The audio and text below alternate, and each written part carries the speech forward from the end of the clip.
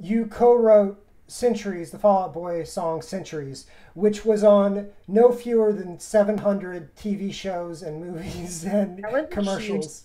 Huge, it was yeah. an insane experience. So tell me about, because I think of Fall Out Boy, you think about a band, you don't think about them inviting a co-writer in. So tell me about that experience.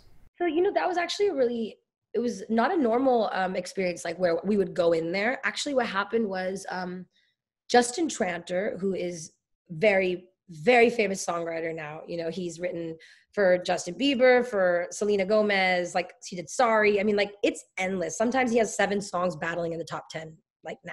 But yeah. this was our first platinum. So he had he hadn't yet to take his his meteoric rise. Um, so we used to write together a lot. And uh, myself, him, and J.R. Rotem, we were in we were working on some songs, and uh, we just took about 15 minutes. We just had this idea. Justin came in. He's like, "What about this? Remember me for centuries." And I was like, "Oh, I love that." And I started imagining like being on a chariot of fire. And I think we wrote the hook in 10 minutes, you know, and I sang it. Legends are told, some turn to dust, turn to gold. You will remember me remember me for centuries. Hey, yeah, whoa, hey. I mean, that's essentially an Indian melody. Hey, yeah, remember me for centuries. So we sang it. And I was thinking, okay, maybe Rihanna, Jay Z, like this could be like a Rihanna thing, you know?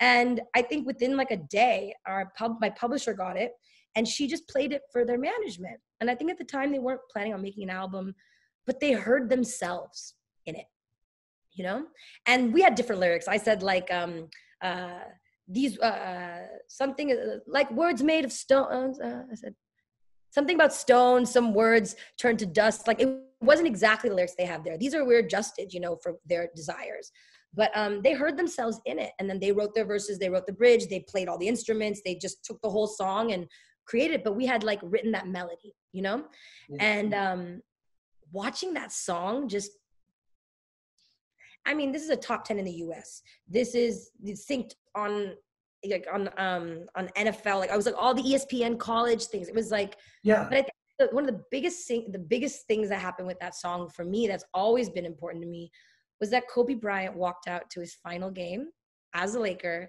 to centuries. And you're an LA girl. And I'm an LA girl. And I was in India when this happened. I think I was going through whatever I was going through. And to hear that that had happened, that one of the greatest athletes of all time thought that the song that we were a part of was good enough to be the soundtrack of his incredible moment.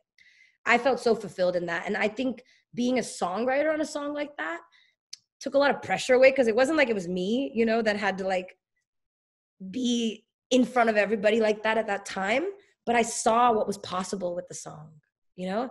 I saw you know what it's like if something goes top 10 so no matter what i do no matter how indie or people don't think my music's going to be whatever they whatever the ideas they have i still remember that feeling and i still know it's possible you know? I still know it can happen again